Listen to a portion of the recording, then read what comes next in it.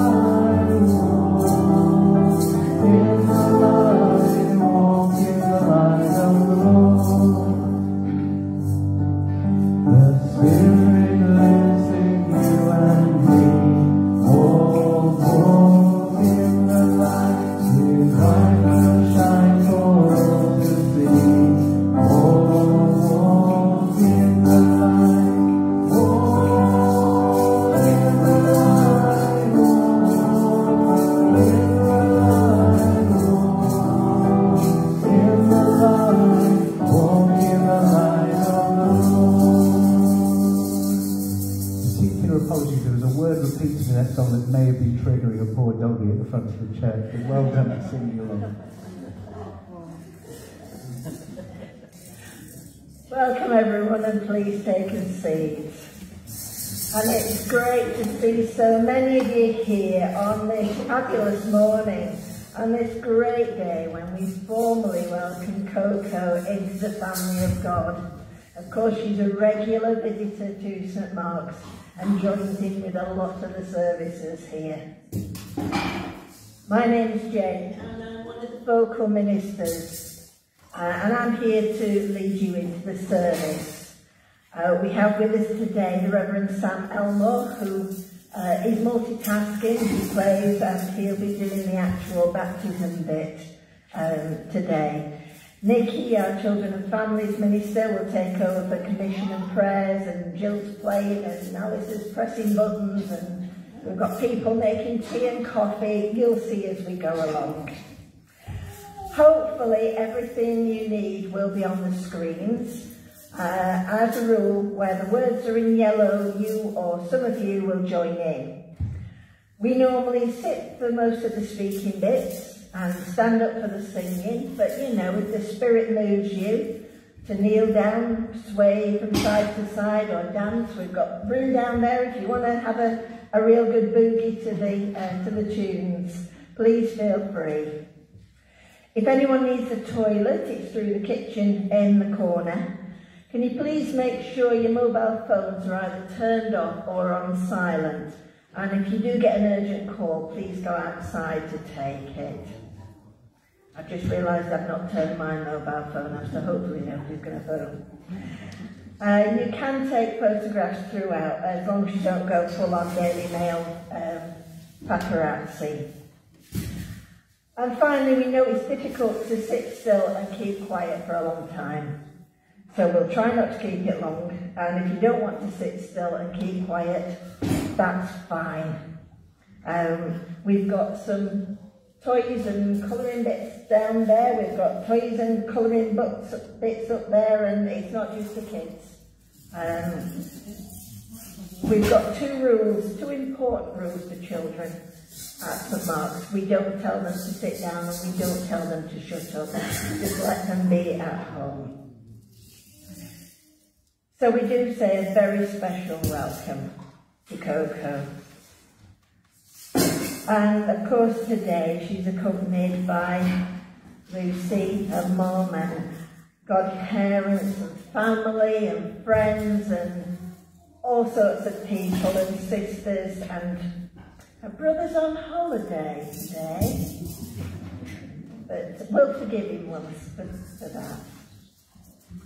And hopefully he'll be able to uh, see it either with, live streaming today. So if you want to make a nuisance of yourself, uh, anybody on the, on the internet can see, and we will be recording it so they can watch it later. So here at St Mark's, the baptism or christening service is an informal one. Although, of course, there's also a deeper side. Coco's mom, godparents, family and all supporters will be making very serious promises on her behalf. And they're going to need your support as well as she grows up. And today she's joining a, whole worldwide com community. So as you pray for her, picture her with yourself and the whole church throughout the whole world and throughout the ages, journeying into the fullness of God's love. Let's start with a few prayers. Be prepared to be excited and then enthused. Be ready to dream dreams and share hopes. Be willing to welcome others. Be excited to be challenged. Let us enable ourselves to receive God's Spirit afresh. God of Pentecost, come to us today and fill us with your Holy Spirit Teach us to see the new things you are doing in us. Help us to embrace the changes and challenges you ask us. as we look for the coming of your kingdom. Amen. Our Lord Christ Jesus has told us that to enter the kingdom of heaven, we must be born again of water and the Spirit. And he's given us baptism as the sign and seal of a new birth. Here we are washed by the Holy Spirit and made clean. Here we are clothed with Christ, dying to sin that we may live his risen life. As children of God, we have a new dignity and God calls us to the fullness of life. One of the signs that we will see in this baptism service is Jesus as the light of the world. I'm going to ask Lucy now to come up and light the baptism candle.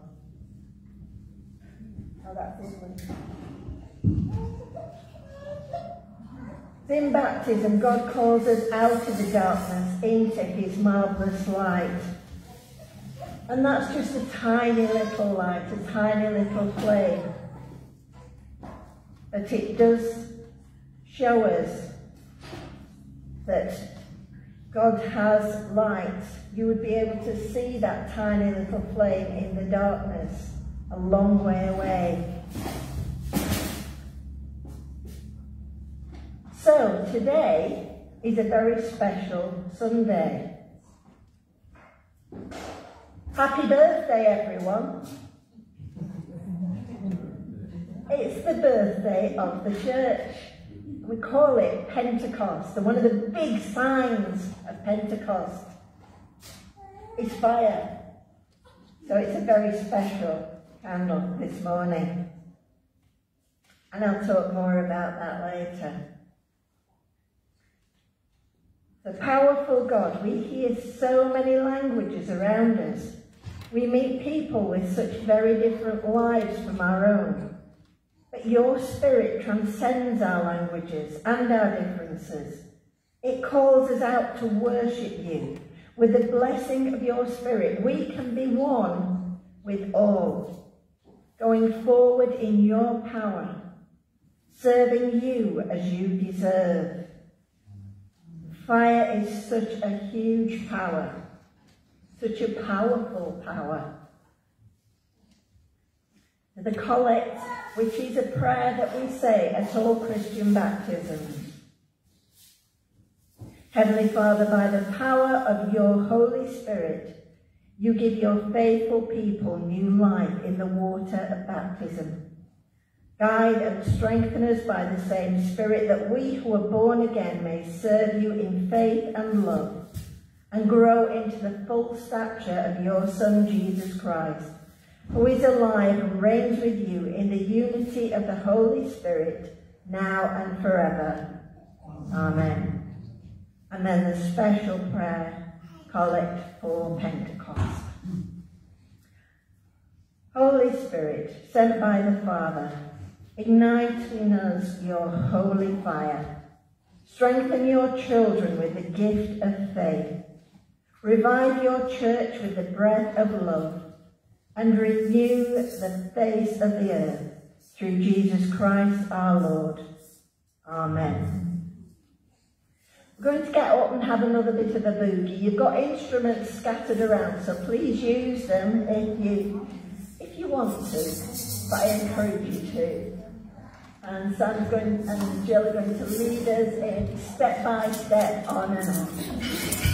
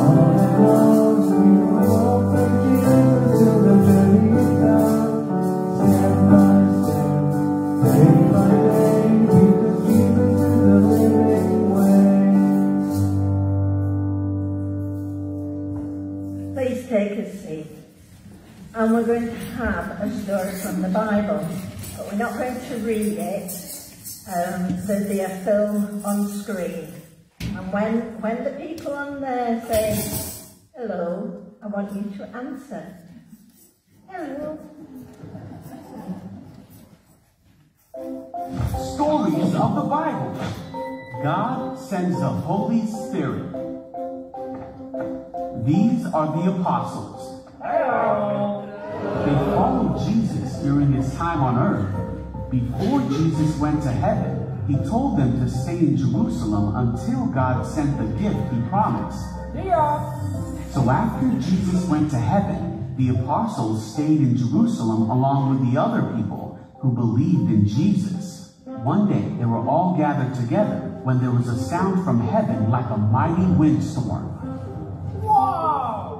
Then what looked like flames appeared and settled on each of them, and everyone was filled with the Holy Spirit. The Holy Spirit gave them the ability to speak in other languages, and so they started speaking. At that time, there were devout Jews from every nation living in Jerusalem. When they heard the loud noise, they came running to see what it was. When they saw the believers speaking in their own languages, they were shocked and amazed. They wondered, how can this be? These people are from Galilee, and yet we hear them speaking in our own native languages about the wonderful things God has done. What can this mean? But others in the crowd didn't believe that it was really a miracle and thought the believers were just acting oddly. Then Peter stepped forward and shouted to the crowd, Hey, all you! Listen carefully, all you. He told them that they were not acting strangely, but that this was from God. He reminded them that God said this would happen long ago. Then Peter told them about how Jesus was crucified, but then raised to life again, just as God had said he would be. He told them that Jesus was now in heaven, and that God had given the Holy Spirit to them, as he had promised. Peter's words changed what the people thought and felt, and they asked, Brothers, what should we do? Peter told them, Each of you must repent of your sins and turn to God, and be baptized in the name of Jesus Christ for the forgiveness of your sins. Then you will receive the gift of the Holy Spirit. Wow! Peter continued to preach to the crowd for a long time, and those who believed what Peter said were baptized. 3,000 people were baptized and added to the church that day. Then all the believers listened to the apostles' teaching and practiced what they taught. Hey! They met together in fellowship, shared meals, and prayed together. They were amazed as the apostles performed many miraculous signs and wonders.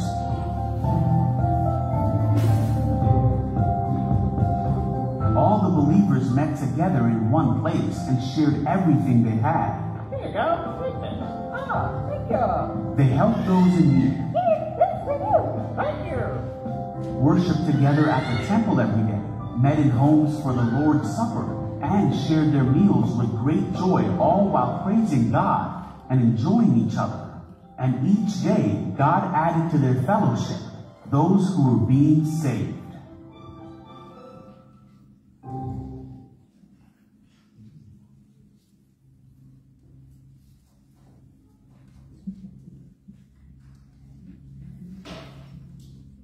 So as I said before, some call Pentecost the birthday of the church, and I think that film showed why. It was the start of all this. All you sitting here in this building. All the people across the world in churches on a Sunday morning and through the week, of course. And it was around 2,000 years ago. So 2,000 years ago, there were just 12 people, Jesus' friends to start with. They'd each gathered some more friends around them, told them what a great chap Jesus had been, prayed with them, and those friends had joined their group. And there they were, in the busy, bustling city of Jerusalem, merchants and travellers from all different areas and countries crowded in there, bartering, chatting, arguing in their different languages. and all these different people. So here's the bit from the reading from the Bible that we would normally have, but I can't pronounce them all. But all these people from all these different places, in all these different languages. And then, with this great big spectacular wolf Actually, it, always looks like a bit of a gentle flame in the video and, and a bit of a, a little bit of wind. Oh, a few bubbles.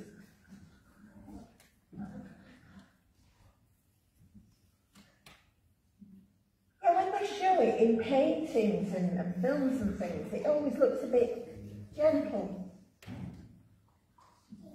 people came running, so really I think it looked a bit more like this. This will work.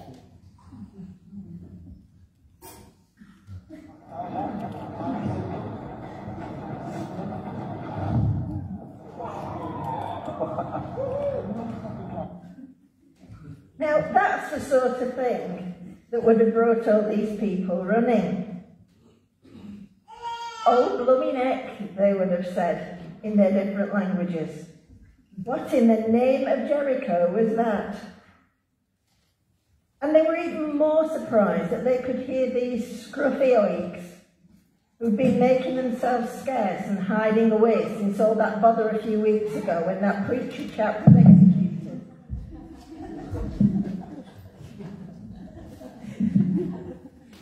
That's Coco's review of my sermon.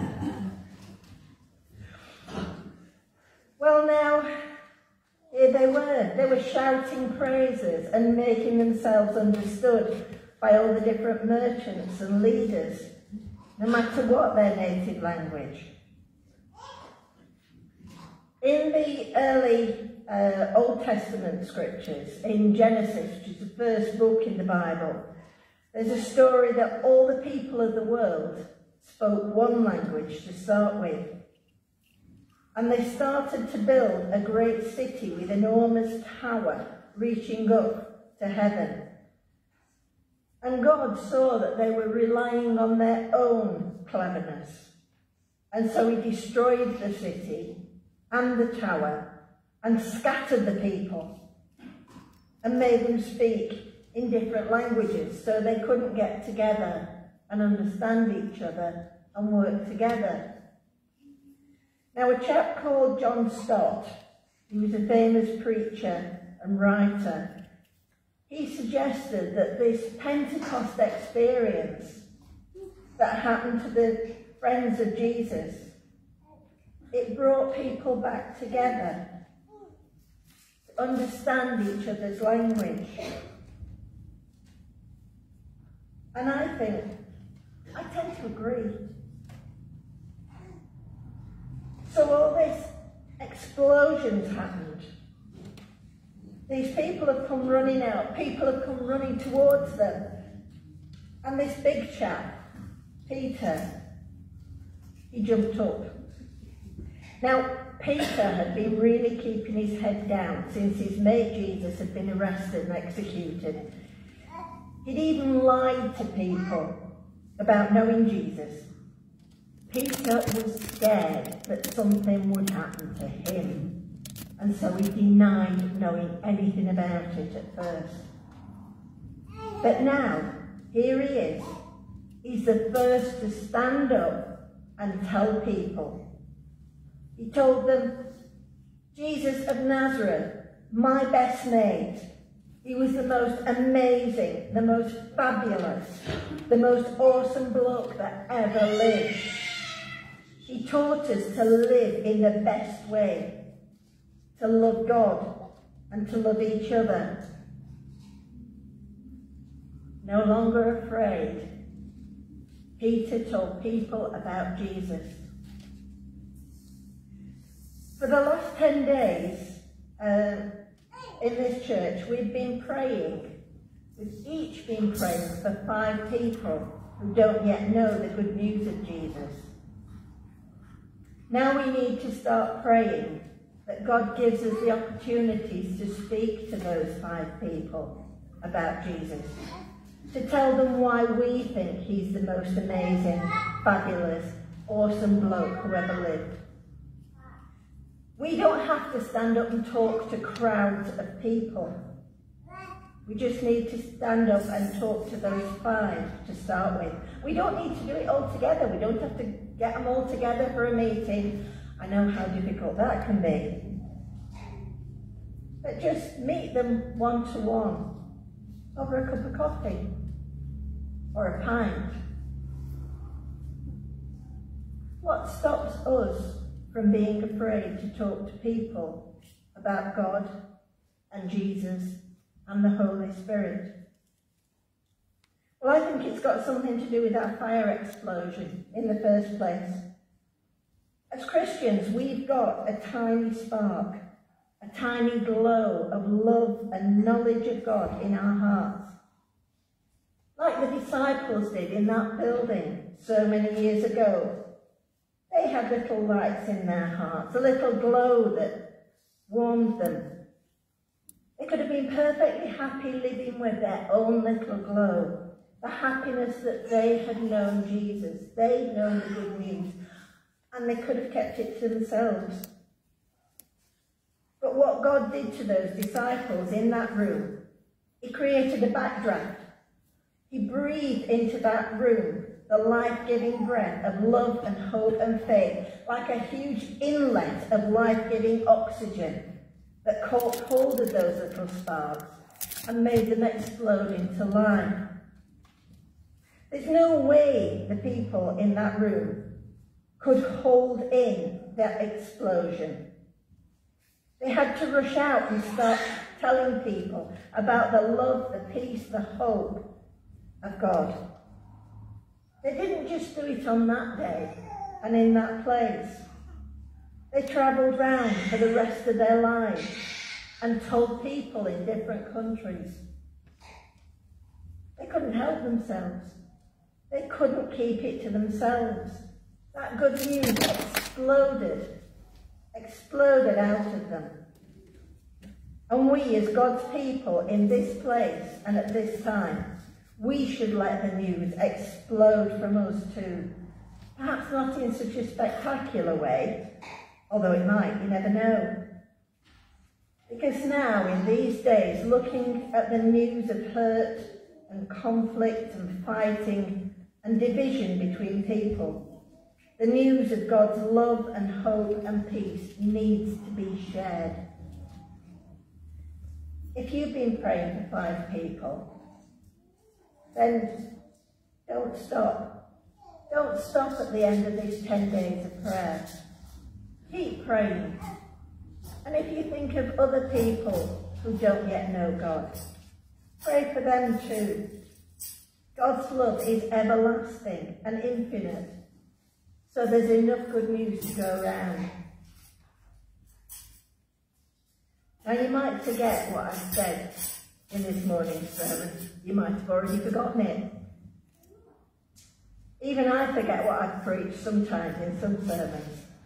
But I'd like to help you to remember to pray and to share. In a little while during prayer time, Nicky's going to ask you to each to come out to the front to bring something. And as you each go back to your seat, I want you to take one of the little red flames from the fuzzy felt picture here. Put it into your wallet or your purse or your handbag. I'll give you a word of advice though. Don't put it into your pocket. At my daughter's christening, each person was given a seed. My husband put his into his new shirt pocket and forgot about it. And when we washed the shirt, the seed got squashed and stained it and it never washed out. So anyway, put the flame into your purse or your wallet and then when you come across it at a later time, let it remind you of God's love. And let it feed life-giving oxygen into your own personal spark. And pray that you're given the courage and the words to spread the fire and to build the kingdom of God. Amen.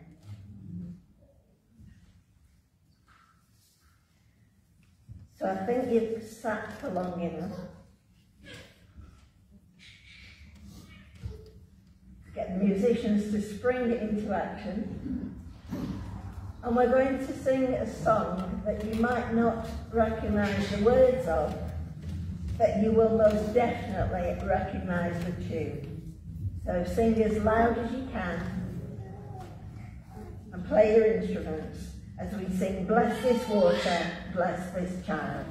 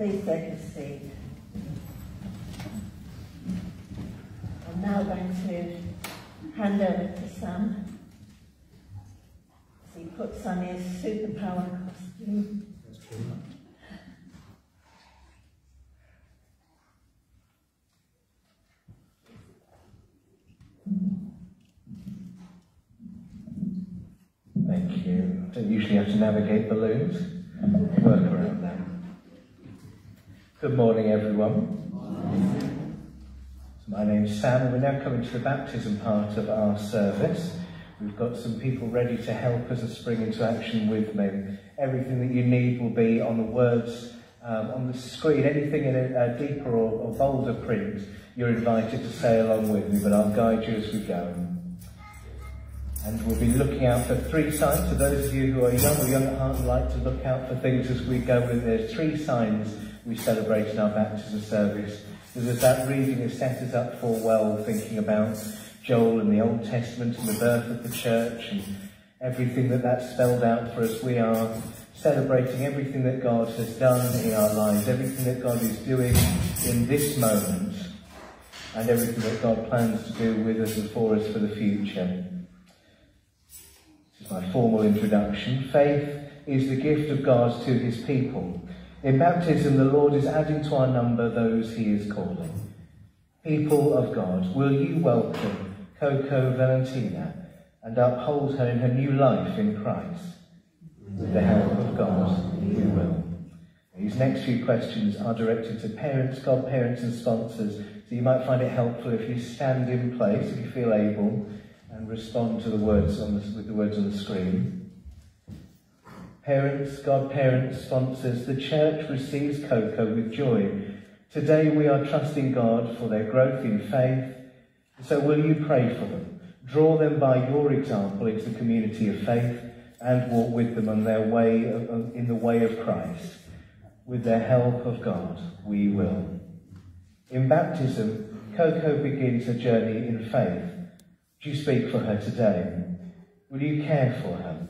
Help her to take a place within the life and worship of Christ's church. With the help of God, we will. We all wander far from God and lose our way, and Christ comes to find us and welcomes us home. In baptism, we respond to his call, and therefore I ask parents, godparents, and sponsors of this child do you turn away from sin? I do. Do you reject evil? Do. You turn to Christ as Saviour? Do. Do you trust in Him as Lord? So we're now going to see the first of our signs, the sign of the cross.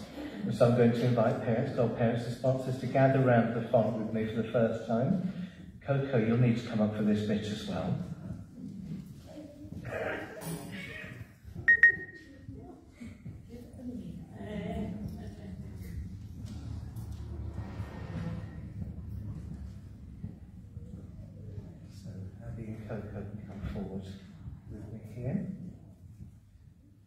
Coco, Christ claims you for his own. Receive the sign of his cross. Do not be ashamed of Christ, you are his forever.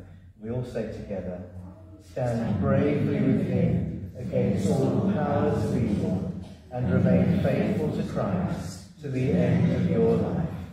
May Almighty God deliver you from the powers of darkness and lead you in the light and obedience of Christ.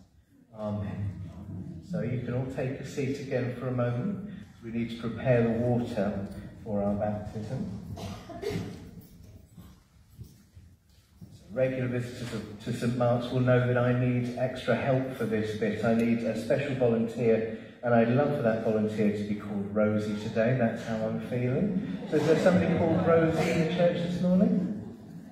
Oh, that's lucky. I did worry for a second there. So first we're going to just, I need help because it's, it's a heavy jug and I've only got little arms. So we're going to pour the water in together. We'll pray as we pour the water in. Heavenly Father, bless this water, that whoever is washed in it may be made one with Christ in the fellowship of your church, and be brought through every tribulation to share the risen life that is ours in Jesus Christ our Lord. Amen. Amen. But before we go anywhere, we also need to remind everybody of their baptism. You see, when we have a baptism service, don't worry, I won't go on too long. when we have a baptism, we're celebrating Coco's journey and Coco's moment, but we're also reminding everybody that they're beloved children of God and they're all on a journey. So we're going to check the water's not too warm. Just give it a little stir with me. A stir. And then if you take this side and I take this side, shall we remind them that they're chosen children of God? There's so many things in my way. So I'm going to stand this side. There's already somebody in a swimming costume over this side, so they knew I was coming. So, beloved, chosen children of God, on this side of the room, I invite you to remember your baptism. Are you using a child as a body shield? that doesn't feel appropriate. You like to remind this side, particularly this guy? Chosen children of God, remember your baptism. Splash.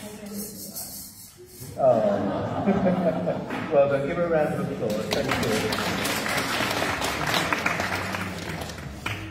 you. Lovely. So as I say, we're reminding ourselves that we're all on a journey, and so we're going to profess our faith together. So we're responding to, with the words in bold and yellow on the screen. Let us affirm together, with Coco who's being baptised today, our common faith in Jesus Christ.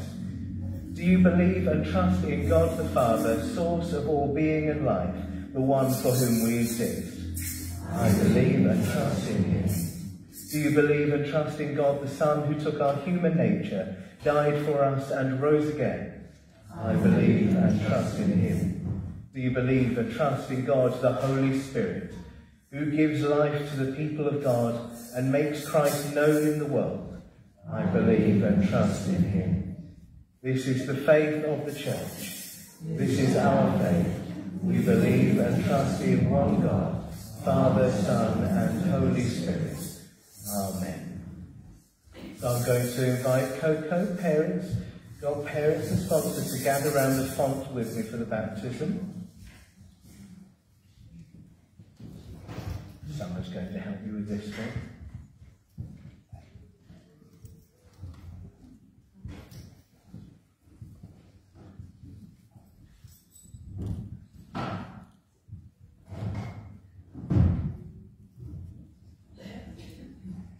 What name have you given to this child?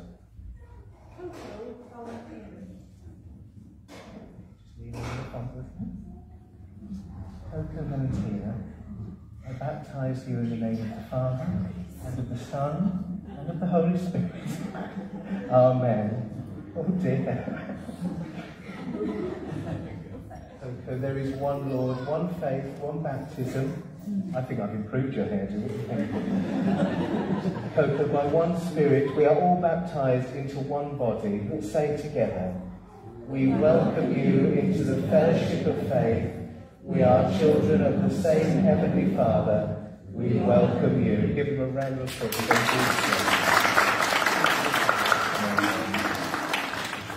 So I invite you to take your seats again as Nicky comes to lead us in prayer and for the commission. I like the fact that Coco got you back for it, getting her wet before.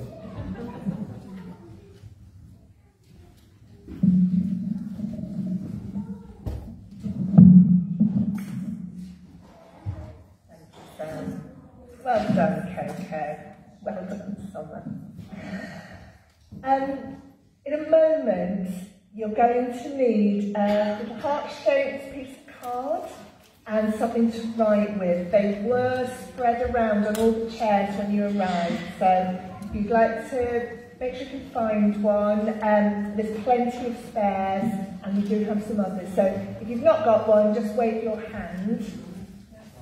But hopefully we're all okay. Lovely. So just hold on to those and I'll explain what we're doing in a moment. First, the commission faithful and loving God. Bless those who care for Coco. Grant them your gifts of love, wisdom and faith. Pour upon Coco your healing and reconciling love and protect her from all evil. Fill her with the light of your presence and establish her in the joy of your kingdom. Through Jesus Christ our Lord. Amen. So these hearts are for you to write your own prayer for Coco. You might like to write it in the form of a prayer, but you could write it as hopes or dreams for Coco as she grows into a young lady. And we're going to just ask God to inspire and to bless these prayers. So just in the next couple of minutes, write your prayers and then I'm going to pop a little box on the, just on the font there, and I'd love to invite you to come up and pop those prayers into the box. And then these can go home with Lucy, and you can pray them over her, you can show her as she's older, and just something to keep as our blessings from this service. So a couple of minutes to write your prayers, and then bring them up when you're ready.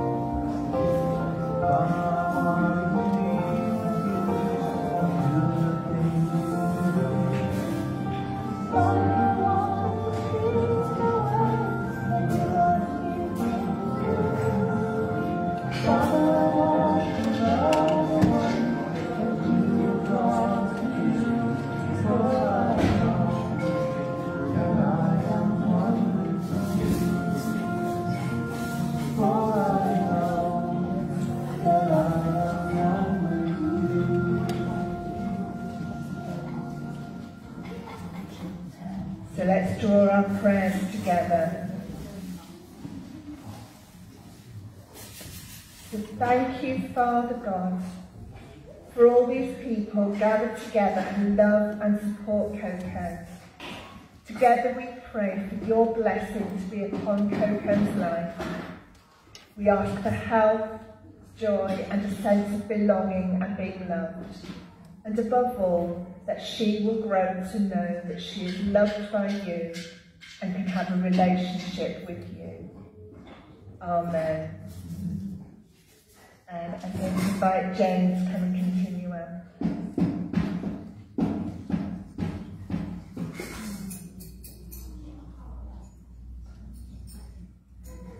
Right, this is the time when we pray for the rest of the world.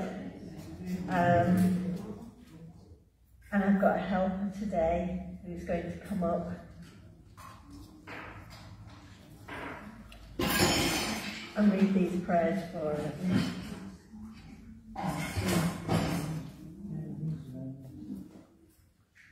Heavenly Father, we pray for your Holy Spirit to guide and fire up the people of your church today.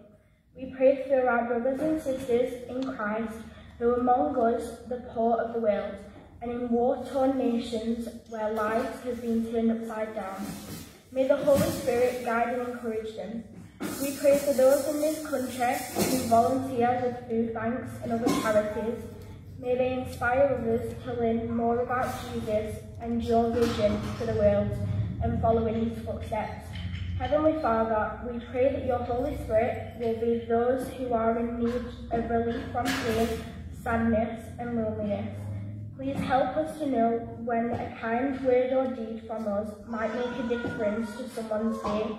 We pray for those who work in the NHS and other caring services, for our teachers, sport coaches, youth leaders, our families and all those who care for us. Heavenly Father, help us to dream big dreams in the power of the Holy Spirit. We pray that we will be inspired to work towards those dreams and build the world that you have planned for us. Help us to reflect your light as bright as the northern lights into the dark corners of our world and to share your love and care to those who don't know you yet. Lord, in your mercy, hear our prayers. Thank you. So let's bring all these prayers together in the prayer that Deep taught us. We pray together. Our Father in heaven, hallowed be your name. Your kingdom come, your will be done on earth as in heaven. Give us today our daily bread Forgive us our sins, as we forgive those who sin against us. Lead us not into temptation, but deliver us from evil. For the kingdom, the power, and the glory are yours, now and forever. Amen. And it's a party, so we have some presents. This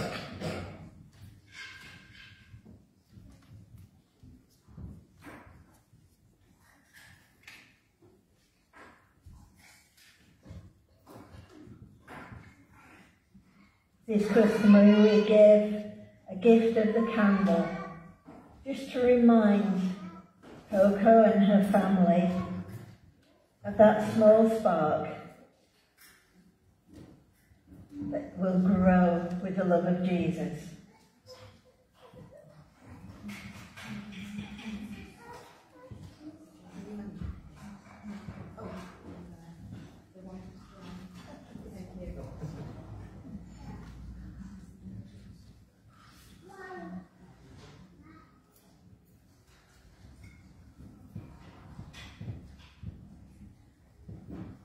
Light a candle and a little book of Bible stories um, that you can read to her, or she'll be able to read herself. And perhaps you'd like to you know, keep the candle and light it on the anniversary of this day. So God has delivered us from the dominion of darkness and has given us a place with the saints in light. Coco, you and we have received the light of Christ. Walk in this light all the days of your life. Shine as a light in the world to the glory of God the Father. Amen. Right, so it wouldn't be church if we didn't have notices. So um, I just I think most church members have at least had uh, sight of a green notice sheet. Um, I'd just like to highlight a couple of things. On the 8th of June, Saturday the 8th of June, between 10 o'clock and 12 noon in the church hall, we're going to have a coffee morning and it's in aid of two organisations that we work with. One is Safe Families and one is SM4Cs. Uh, it's the Sheffield Churches Council for Care or something. I can never remember what the 4Cs stand for. Um, but uh, our oversight minister says it's the same as Safe Families, he calls it Safe Pensioners. Uh, you'd like to, to help, um, at this coffee morning,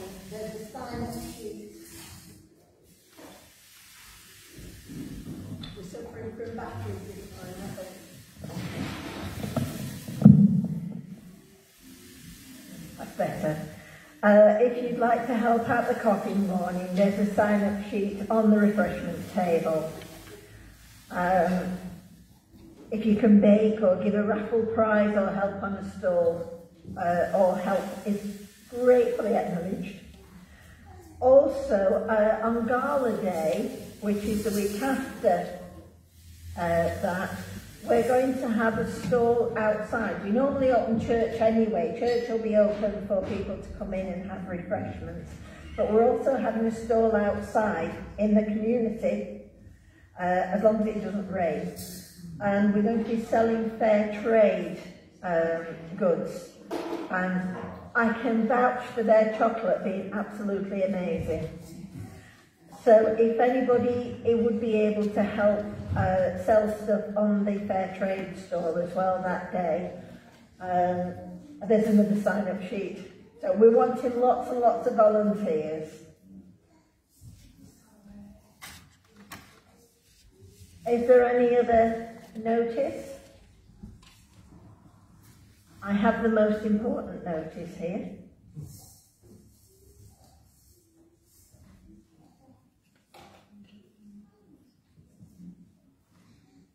It's my absolute pleasure to publish the banns of marriage between Ryan Lee Morton, and Sarah Victoria Oldham,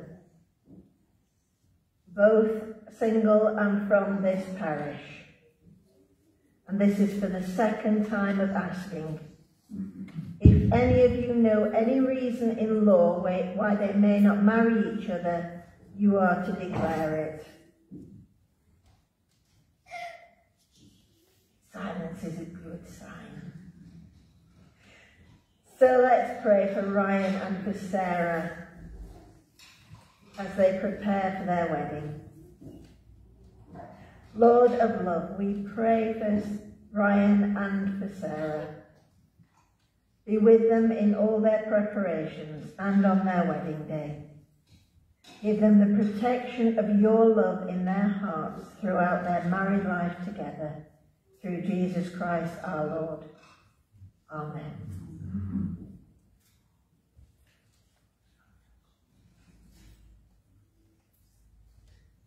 Right, before we come to the final blessing and song, I'd like to thank you all again for being here to support Lucy and, and her lovely family. If you'd like to join us again, we have a service here every week at 10 o'clock and there are groups for children on Tuesdays and Thursday mornings and Messy Church most months. We do have groups for adults as well, so please keep your eye on the web pages for updates. Uh, we don't take a collection during our services, but if you would like to donate towards the work of the church here in Grenoside and the wider area, as well as the charities that we support as a church, there's a plate uh, by the sound desk at the back.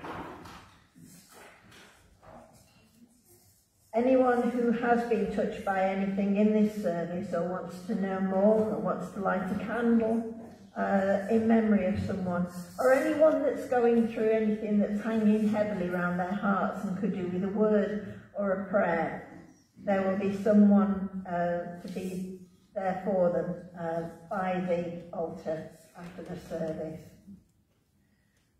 I invite you all to please stay for drink and some of the most amazing cakes I have seen on that table. Um, so I'm sure we need to make a, a big hole in them. Otherwise Lucy will have to take them home, eat them all herself, and then she'll be sick.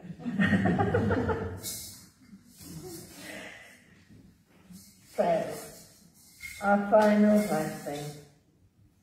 Thank you, God, for making us all different, all special, and all loved. Thank you for sending your Holy Spirit to help us to love other people. Give us joy as we hope and dream about the future. And the blessing of God Almighty, the Father, the Son, and the Holy Spirit be among us and remain with us always. Amen. So let's go in the light and peace of Christ.